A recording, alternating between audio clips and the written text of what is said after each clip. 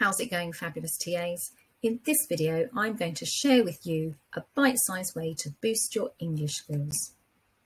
Hello there, and welcome back to TA in Control. My name is Lauren Reasoner, and here I give you the tools and resources to be a teaching assistant working at your most confident best.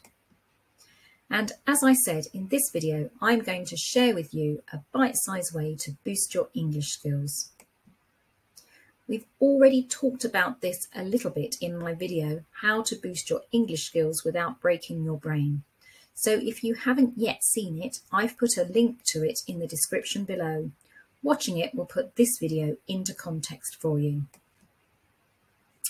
Having said all that, let's dive right in. Remember, anyone can be good at English. The problem is that not everyone can teach English and it's likely you encountered someone who could not teach English when you were at school. And something else to remember is that another alternative to my method is to embark on some kind of English course, but you cannot guarantee that you'll be learning what the children in school are learning at the same time that they are learning it. My method allows you to learn what the children are learning and stay one step ahead. Step 1. Get the English planning for the current half term you are in and for each week from the teacher concerned. Step 2. Look at the planning to find out what your class is learning the next time you are with them. Step 3.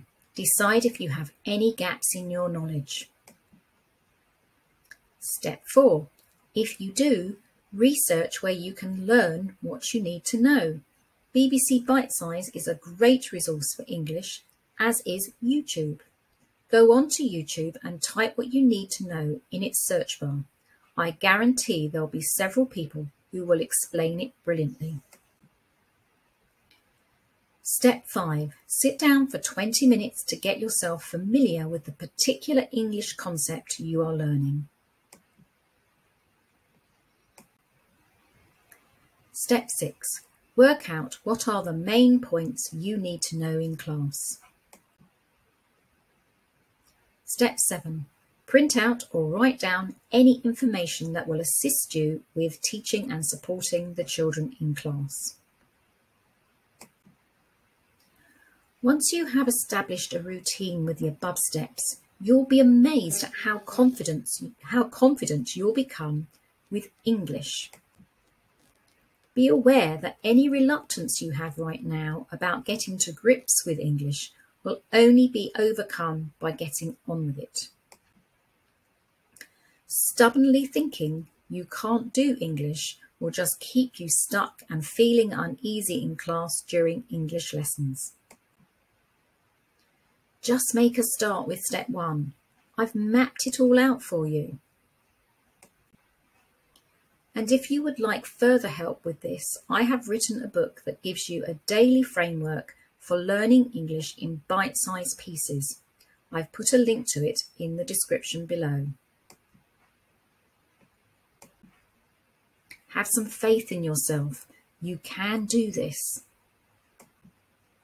Now, if you'd like to be notified about my videos, be sure to give me a thumbs up and click the subscribe button along with the bell icon to ensure you get to hear when I've uploaded a new video so that you too can find out what a difference TA in control will make to your working life. And if you haven't yet, come and join my Facebook group, TA in Control Free Group, and get access to all my free resources. Thank you.